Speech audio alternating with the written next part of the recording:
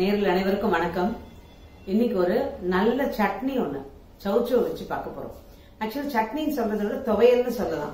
இது வந்து நீங்க சாதத்துல கலந்து சாப்பிட்டா ரொம்ப நல்லா இருக்குங்க. அதோட கூட தயிர் சாதத்துக்கு தொட்டுட்டு சாப்பிடலாம். அது ரெண்டுத்துக்குமே ஒரு நல்ல காம்பினேஷன் மொரோவர் இது வந்து இட்லிக்கோ தோசைக்கோ சாப்பிடலாம். ஆனா அந்த புளிப்பு காரம் பிடிச்சவங்க. பட் எனக்கு வந்து இது சாதத்துக்கு தான் ரொம்ப பிடிச்சது. அதே சமயம் தயிர் சாதத்துக்கும் பிடிச்சது. டிஃபனுக்கு அந்த எனக்கு அவ்வளவா அந்த டேஸ்ட் இதுவா இல்லை.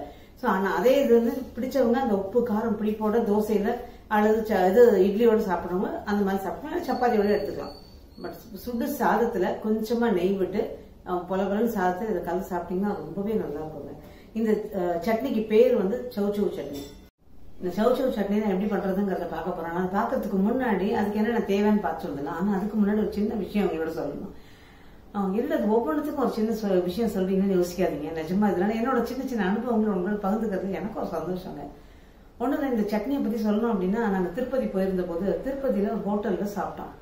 சாப்பிட்டா அவங்க வந்து இந்த சட்னி நல்லா உப்பு காரம் புளிப்பா ரொம்ப நல்லா இருந்து வச்சாங்க. நான் வந்து மத்ததுகளெல்லாம் ரொம்ப சாப்பிடாம இதையே வாங்கி வாங்கி சாப்பிட்டுட்டு இது எப்படி இது யார்கிட்ட கேட்கலாம் அப்படின்னு சொல்லிட்டு அங்கே இருக்க சர்வர்லேருந்து எல்லாரையும் கூப்பிட்டு கேட்டால் யாருமே அதோட ரகசியத்தை சொல்லலை.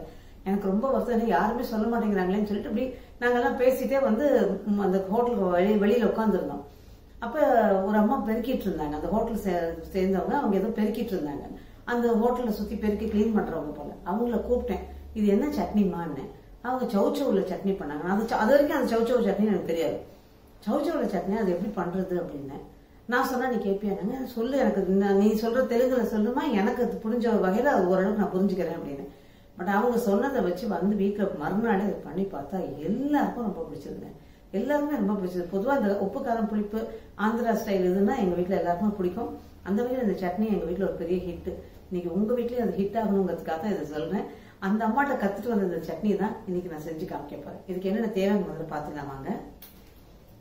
இதுக்கு சவுச்சவ் நான் வந்து பாதி பெரிய சவுச்சவாக இருந்தது. நான் பாதி தான் எடுத்திருக்கேன். அதுக்கு நல்ல ஒரு ரெண்டு டேபிள் ஸ்பூன் அளவுக்கு தேங்காய். அதோட நாலஞ்சு சின்ன வெங்காயம். ஒரு நாலஞ்சு பல்லு பூண்டு.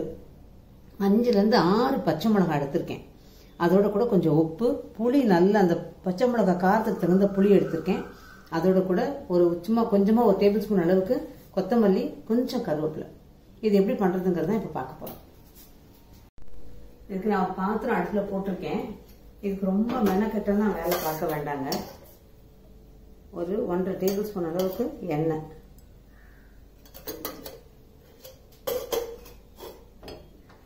எண்ணெய் கொஞ்சம் காஞ்சதும் நம்ம உடச்சி வச்சிருக்க பச்சை மிளகாய். இதுக்கு பச்சை மிளகாயும் புளியும் முக்கியமான பங்கு. அதனால நீங்க வந்து பச்சை மிளகாய் நல்ல காரம் தர மாதிரி பச்சை மிளகாய் போட்டுக்கோங்க. அதுக்கு தகுந்த புளியும் போட்டுக்கணும். ஸோ அது ரெண்டுமே பேலன்ஸ் ஆகும். அப்படி பண்ணால் தான் இது நல்லா இருக்கும் ஆந்திராக்காரங்களோட காரம் நமக்கு தெரிஞ்சதுதான் இல்லையா? அந்த வகையில இதுவும் நல்ல உப்பு காரம் புளிப்பாடுது இப்போ பச்சை மிளகாய் எண்ணெய் காஞ்சிட்டு பச்சை மிளகாய் இதில் போட்டுடுறேன். அதோட கூட சவுத்து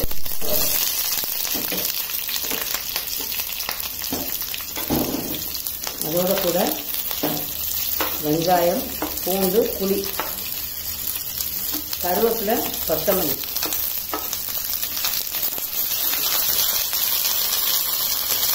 இதுக்கு தேவையான அளவு உப்பு.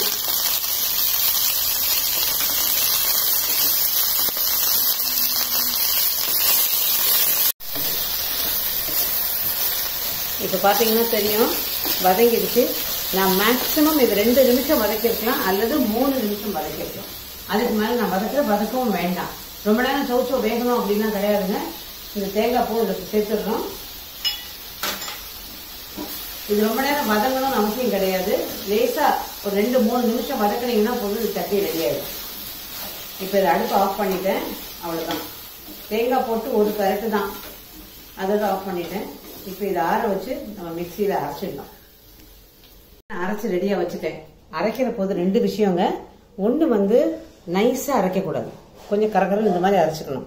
இன்னொன்று தண்ணியே ஊற்றக்கூடாது ஏன்னா அந்த சட்னியில் ஏற்கனவே வதக்கிறது சௌச்சோ வந்து தண்ணி சத்து இருக்கும். அதனால தண்ணியே ஊற்றாதீங்க தண்ணியை ஊற்றாம அந்த விப்பர் பட்டனால விட்டு விட்டு இயக்குனீங்கன்னா கரெக்டாக அரைச்சி எடுத்துடலாம். ஒரு நாலஞ்சு அடி தான் கரெக்டாக ரெடி ஆகிடும் இந்த காரம் புளிப்பு இருந்தா தான் அந்த துவையல் நல்லா இருக்கும்.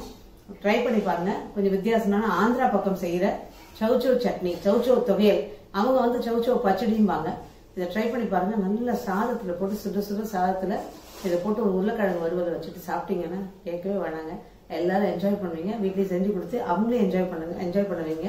அது ஒரு இன்ட்ரெஸ்டிங்கான ரெசிபியோட மீண்டும் உங்களை சந்திக்கிறேன். நன்றி. வணக்கம்.